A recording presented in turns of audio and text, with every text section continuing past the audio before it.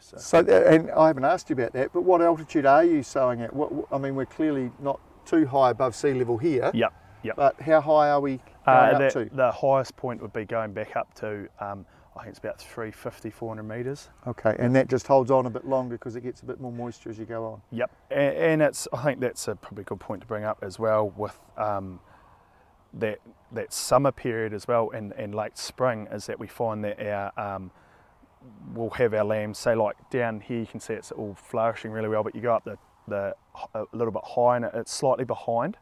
Um, and then, but actually the roles re- reverse in that summer period. So we'll find that we'll graze a lot of these areas off in the in, in spring, and then, then move the lambs up a bit higher where the moisture is. So you know you still get in those um, bit dewier days up the top there um, that will um, that help the lucerne hold on a bit more. And that helps you get a few more animals away, a few more mouths off the farm before the, the dry really kicks in. Yep.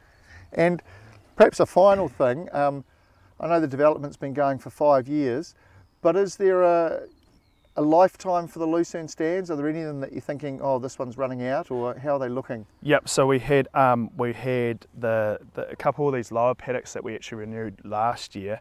Um, that uh, they they had been in for yeah five years, and they were just just been on that lower country and, and been intensively grazed. We definitely find that it, it does have an impact. But you know, you've heard of people having stands for plenty of years, you know. So, um, but but in saying that, we we will try and um, keep on top of renewing it um, within a you know within reason. Um, just as it's uh, can be quite um, intensely intensively grazed. So, yeah. So renewal is, what do you go, how do you manage that for those stands that have been taken out? Do they go through a cropping phase or what happens to Uh, them? we did one year. Um, we do one year uh, of cropping for the renewals, um, just to Is that kale or Uh, rape, rape. Okay, yep. so some rape, So some rape, and um, and that just um, that just allows us to pick up any of those worm, uh, the the sorry the um, the weed burdens.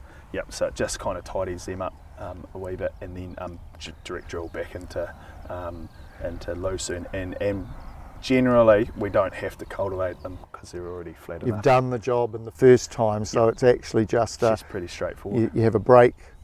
Yep. How do you how do you suppress the lucerne that's already in the paddock when you put your rape crop in? Are you having to spray it out? Yep, yep. So yep, we'd have to do a spray, um, if not two.